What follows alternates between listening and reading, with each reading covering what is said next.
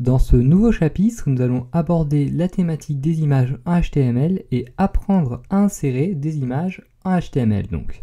Les objectifs de ce chapitre sont les suivants. Tout d'abord, découvrir les différents formats d'images et savoir quand utiliser chaque format, comprendre les problématiques liées au poids des images et apprendre tout simplement à insérer des images dans une page web et dans une page HTML.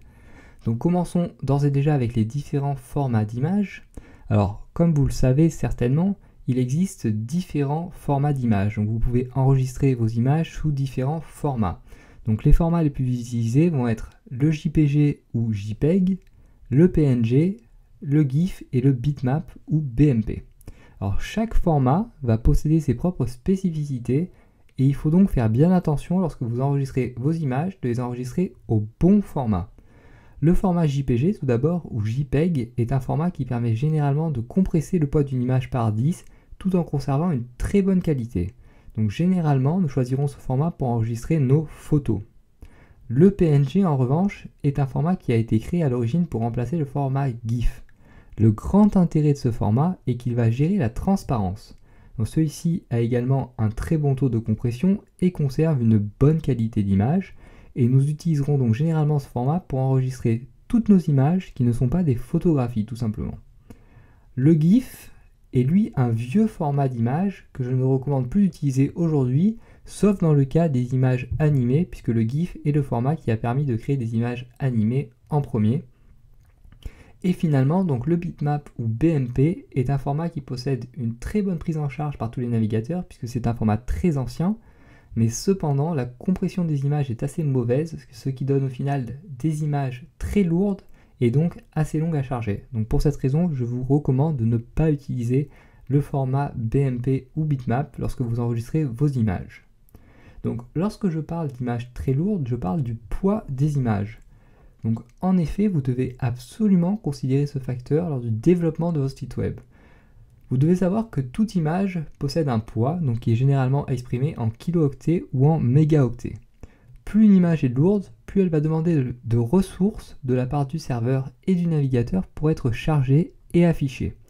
Alors, en effet, lors de la mise en ligne de votre site web, vous allez louer un espace serveur chez un hébergeur afin d'y envoyer toute l'architecture de votre site, donc afin que votre site soit accessible au public via le net.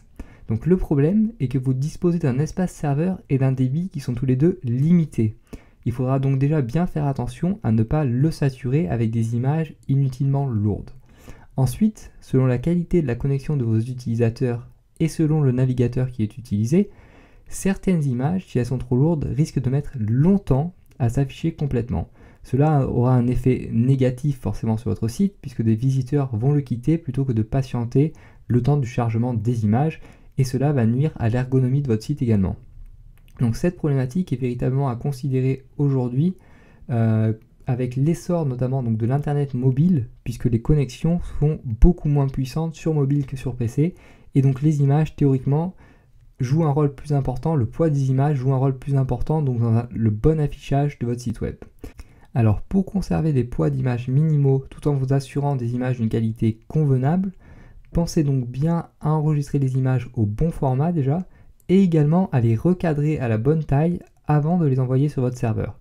Ainsi, donc elles consommeront moins de ressources lors de leur affichage. Et je conçois que cela puisse vous paraître un petit peu fou pour le moment, mais donc pas d'inquiétude, nous reparlerons de cette problématique plus en détail plus tard dans ce cours.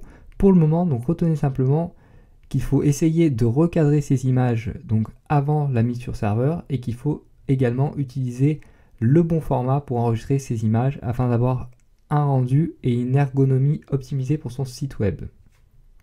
Et donc nous allons maintenant apprendre tout simplement à insérer des images en HTML, ce qui est le moment, je suppose, que vous attendiez. Donc pour insérer une image en HTML, on va utiliser l'élément HTML IMG qui est représenté par une balise orpheline. Donc au sein de l'élément IMG, nous allons obligatoirement devoir préciser deux attributs, les attributs src et alt. Donc l'attribut src déjà, qui est l'abréviation de source, va prendre comme valeur l'adresse de l'image, donc une adresse relative ou absolue, tandis que l'attribut alt pour alternative va contenir un texte alternatif qui va décrire l'image. Alors ce texte va être affiché si l'image ne peut pas l'être pour une raison ou pour une autre, et va donc également être très utile pour les non-voyants ou les malvoyants, donc ils vont pouvoir comprendre ce que signifie l'image sans la voir. Donc voyons maintenant comment tout cela fonctionne en pratique. Donc pour cela, je vous invite à vous rendre sur votre éditeur de texte, à créer une nouvelle page comme ceci. Et donc on va insérer une image tout simplement dans notre page. Alors pour cela, il va vous falloir une image tout d'abord. Donc moi j'en ai déjà prévu une que j'ai placée dans le même dossier donc que ma page web, que ma page HTML pardon, euh, pour plus de facilité lors de la création du lien donc vers l'image. Vous voyez que ma page HTML est ici dans mon cas et mon image est juste en dessous ici. Donc mon image s'appelle coucher-soleil.jpg, ce qui est une photographie que j'ai prise l'année dernière. Donc on retourne sur notre éditeur de texte maintenant. Donc j'espère que vous avez une image à portée de main. Et donc on va créer donc un lien donc vers notre image pour insérer l'image euh, donc dans notre fichier HTML donc grâce à l'attribut source src. Donc moi, je n'ai qu'à préciser le nom de mon image, encore une fois, car mon image est dans le même dossier que ma page HTML, donc coucher soleil.jpg. Alors, encore une fois, évidemment, vu que là, on crée un lien relatif, si l'image était dans un sous-dossier ou dans un dossier parent, il faudrait répercuter donc dans la valeur de l'attribut src, qui va fonctionner un petit peu comme l'attribut href, si vous le voulez, avec les liens.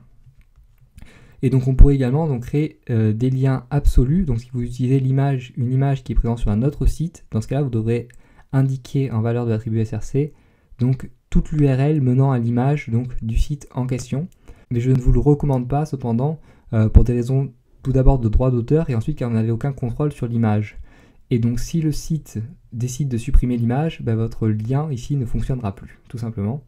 Et donc deuxième attribut, l'attribut alt, donc pour alternative, qui va euh, prendre comme valeur donc un texte décrivant l'image et qui va être une nouvelle fois très utile pour les malvoyants ou les non-voyants et qui va être utilisé également donc lorsque l'image ne peut pas être affichée. Et donc on ferme immédiatement puisque euh, l'élément image est constitué simplement d'une balise orpheline.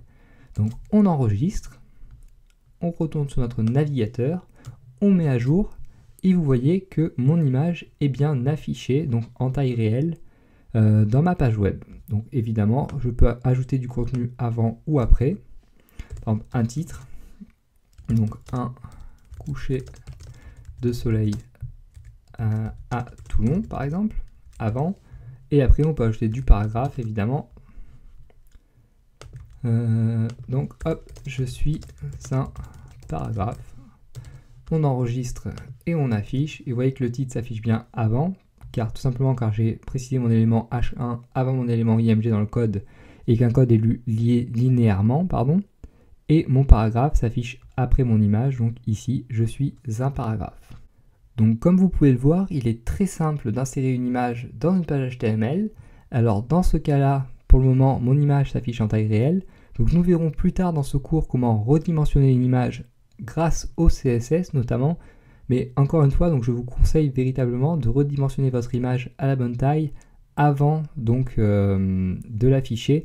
Donc de ne pas le faire ni en HTML ni en CSS, mais de le faire avant donc avec un autre logiciel comme Photoshop par exemple, afin encore une fois donc d'économiser les ressources euh, de votre serveur et d'économiser donc euh, les ressources qui vont être nécessaires par le navigateur de vos visiteurs pour afficher votre image et pour donc augmenter la vitesse d'exécution de votre site dans son ensemble et augmenter donc l'ergonomie de votre site. Donc voilà tout pour les images. Alors encore une fois ici nous avons créé donc un lien relatif. Si j'avais voulu créer donc euh, un lien, si j'avais voulu insérer une image donc qui appartient un autre site, donc une image qui est sur un autre site, j'aurais ici donc précisé l'URL complète de l'image. Donc on peut le faire hein, si vous voulez, évidemment. Par exemple, on va sur Google. Hop, on va dans Images, Google Images, on tape par exemple euh, Sunset. Donc ici, donc on a un coucher de soleil. On va prendre euh, au hasard celui-ci, il m'a l'air pas mal. Donc évidemment, il va vous falloir l'adresse complète de l'image. Hein. ne vous trompez pas. Donc on va aller ici dans Image taille réelle. Et donc là, vous voyez qu'on a toute l'adresse de l'image, car ça finit par .jpg, donc on est sûr que c'est bien une image. Hop, on copie cette adresse. On retourne ici, on la colle donc dans notre attribut src.